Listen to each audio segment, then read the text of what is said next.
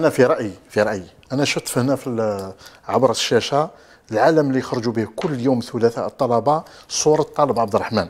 هذا الشهيد اللي ضحى بنفسه وكان متخصص في الكيمياء هو اللي يدير يدير القنابل إلى آخره. هذه عبارة عن رسالة رمزية. من جهة أخرى أنا نختلف مع أخي هابت في واحد القضية أنه هذو الطلبه اللي راهم يخرجوا يخرجوا. لا هو لا لا لا لا لا لا لا نختلف معاه.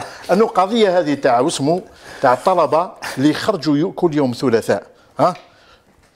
هل هناك إذا ولات ذوك فئويه جزء وجزء من الشعب يخرج ضد الانتخابات جزء ما يخرجش وراهم الطلبة اللي يخرجوا بثلاثه ولا يوم آخر يجي ويقول لك نحن مع الانتخابات. مش مش دورهم. لا لا لا, لا, لا مش دورهم معليش. والراهي والراهي المنظمات الطلابية اللي كانت تاكل الريع واللي كانت بزنس وكانت السلطة تخدم بهم في الانتخابات. حنا شفناهم في الانتخابات في في في, في العهدة هذه الخامسة. يجيو في البلاطوات رئيس المنظمة الفلانية المنظمة الفلانية. هما اللي أنا ضد هذو لا لا يا سعيد. أنا ضد هؤلاء. هؤلاء أيضا ضد هؤلاء. إذا المنظمات هذو في العشرية السوداء كاين منظمات دخلوا كانوا أعضاء في المجلس الانتقالي داو اسمه لأنه فيه فراغ دستوري فيه فراغ المؤسسات التشريعيه كانوا ثم ساهموا كمشرعين. كاين جزء منهم راحوا للمجلس الوطني الاقتصادي الاجتماعي. راهي مساهمة سياسية لا لا لا لا ماشي لا لا ما خرجش. في مرحلة كيما هذه الطلبة الآن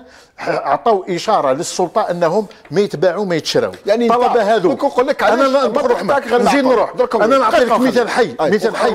في الجامعة. مثال حي في الجامعة. الجامعة. أنا عندي أصدقاء مدراء في في في معاهد إلى آخره. نتلاقى معهم يوميا ودوريا. ما عندهم حتى مشاكل في الجامعة الآن. علاش؟ لأنه المنظمات الطلابية هذوك عادوا ما يتعاملوش معهم. لأنهم تاعو بزنسه ودوا الإشارة تاعهم وراهم يتعاملوا حتى مع الطلبة فرادى. ما عندهم حتى مشكل لأنه الطلبة هذو ماهمش بزنسية. دوك نقول لك. وعندهم دور كبير يلعبوه في تغيير التاريخ الحاسم في الجزائر.